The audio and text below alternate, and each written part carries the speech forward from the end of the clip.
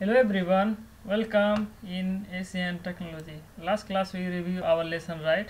So this class I'm going to give you some questions like exercise for you guys.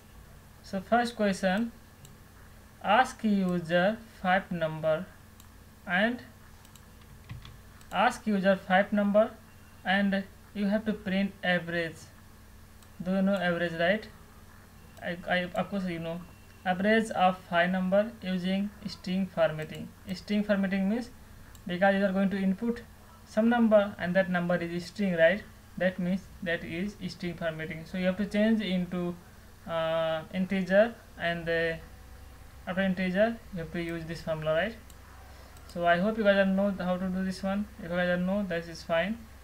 If you don't know i will serve next class and the, the second things one more things here if you ask user the five number in single line that is more better. So this is first question. And the second question ask user his name and print his name back means reverse order.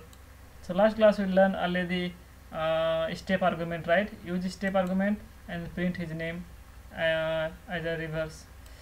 So and three and last question ask user input his name and check his name length. So i hope you guys understand this question. And the next question we are going to solve this all questions. So see you in next class